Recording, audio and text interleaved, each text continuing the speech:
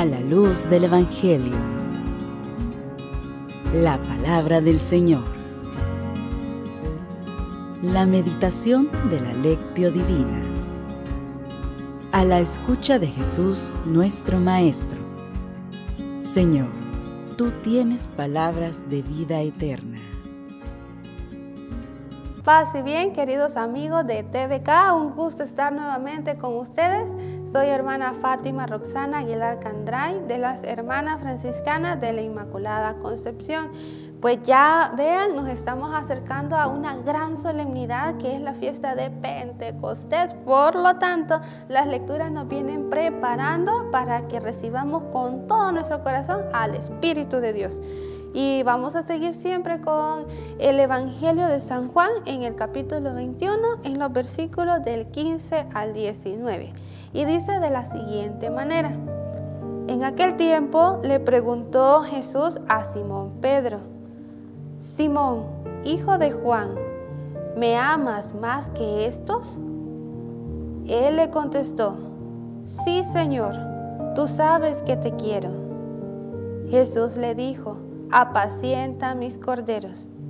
Por segunda vez le preguntó, Simón, hijo de Juan, ¿me amas? Él respondió, sí Señor, tú sabes que te quiero. Jesús le dijo, pastorea mis ovejas. Por tercera vez le preguntó, Simón, hijo de Juan, ¿me quieres?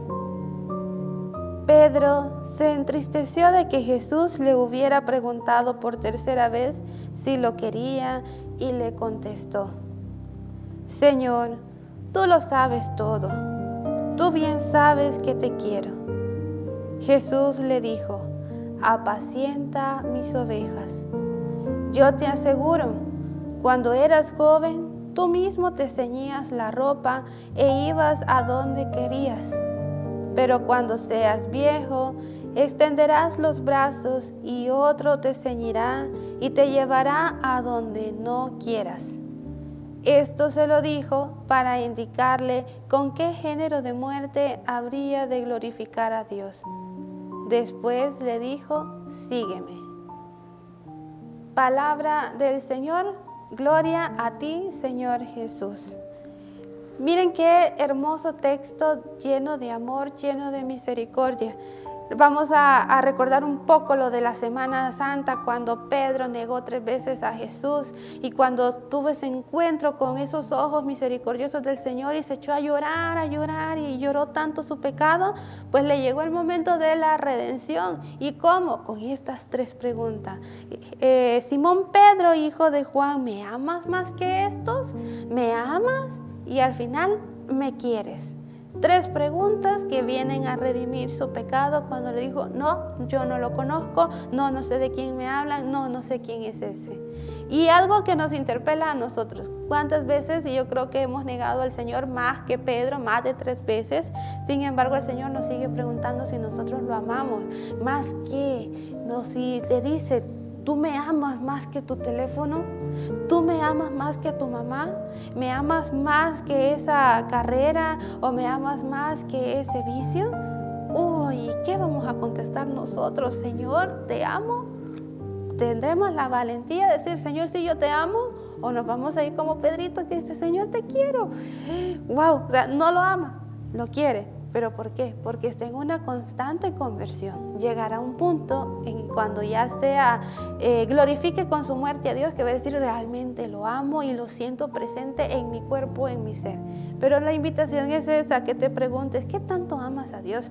O sea, ¿tu amor por Dios te da la capacidad de salir de tu zona de confort o sigues todavía ahí en el sillón? ¿Sigues perdiendo tiempo en el teléfono? ¿O realmente tú dices, no, pues el Señor me necesita? Y aquí es por eso que termina con esta palabra, sígueme, amas al Señor, vas a tener ese llamado de ven y sígueme, ven y ve a hacer lo que yo te mando, lo que yo te pido. En la vocación que el Señor te llame, si es la vida consagrada, si es el sacerdocio, si es el matrimonio o la soltería, desde donde el Señor te ponga, tienes que dar testimonio del amor de Dios para que todo el que te vea a ti o me vea a mí digan, realmente aman al Señor y el Señor los ama a ellos también.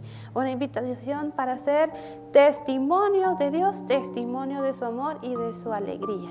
Y pues quedamos con esta invitación para que lo compartamos con todos los que se nos acerquen. Un gusto estar con ustedes. Paz y bien. Señor, tú tienes palabras de vida eterna